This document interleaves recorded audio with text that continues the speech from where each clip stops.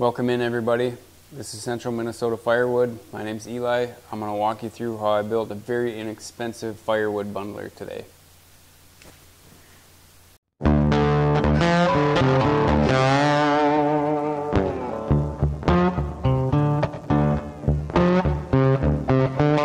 So first off, I copied this design uh, basically from Firewood at the Furnace and from TC's Outdoors. And what I did is I just kind of changed their design to kind of fit what I had on hand. A basic structure is built out of 2x2s, which I actually ripped down out of some old 2x10s. So what I'm doing here is just ripping everything on an inch and a half. So we have inch and a half by inch and a half material. Now we're marking out our 12 inch dividers, which will give us our 12 by 12 dimension for our bundles and pre-drill all the screw holes. And because I'm a cabinet builder by trade, I like to have a little bit of glue in there too, completely unnecessary, but it does kind of help everything, hold everything together. Like I said earlier, those divider pieces are 12 inches, so we have a 12 inch wide piece in between our four foot long legs. So our upright pieces are 48 inches long.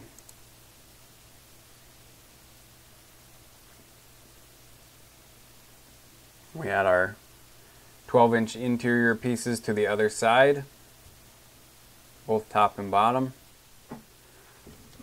We measured 12 inches down from the top of our leg to the top of our 12 inch stretcher so that we have a 12 inch by 12 inch area for our wood to set.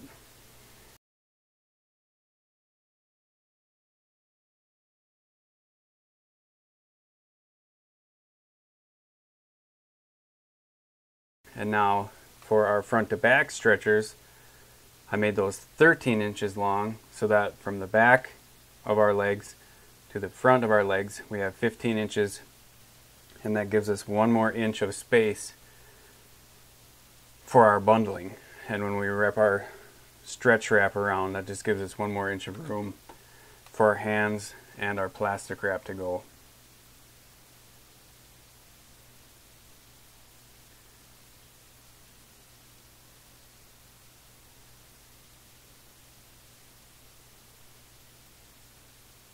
Add a little bit more glue, pre-drill a hole, run a 3 inch screw in there.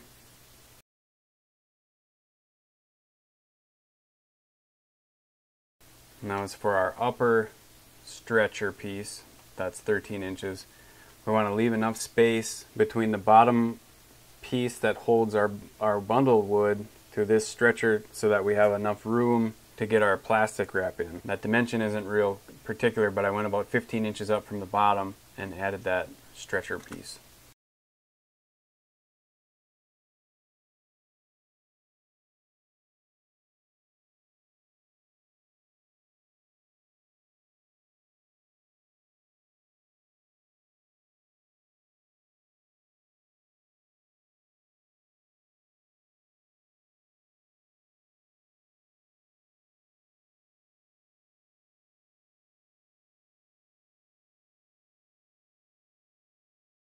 Now we're just adding a little back plate so that we can slide our wood into and we don't have to be quite so precise. We just slide it into a little backstop there and that's just a half inch piece of plywood.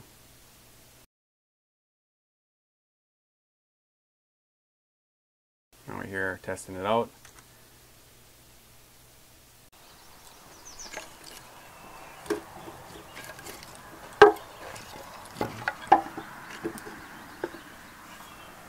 Time for the first bundle of kindling here. Try to get it stacked in there nice.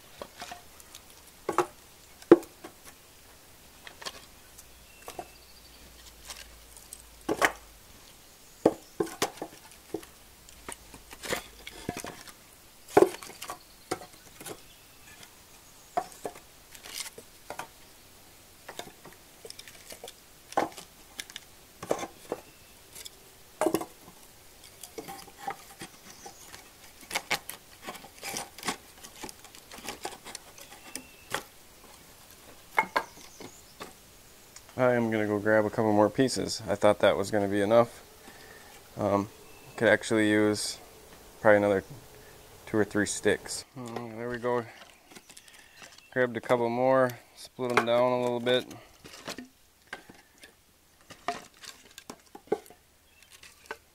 That ought to fill up our 12 by 12.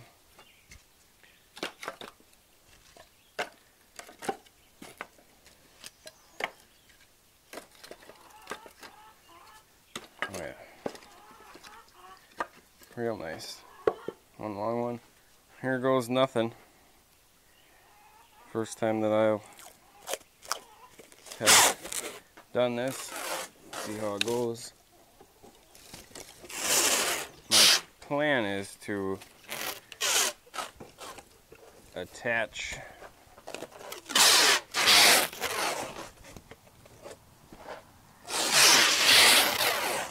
the bundler to a pallet.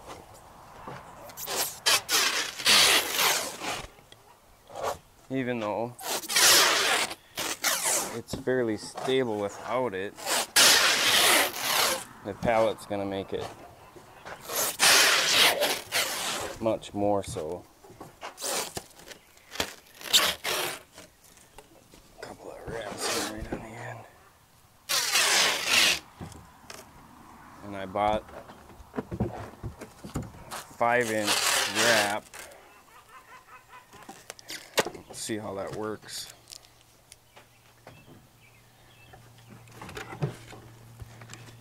There we go. One bundling of kindling. Toss that in the truck. I'm going to head off to that delivery. One bundle of kindling. Off to the delivery.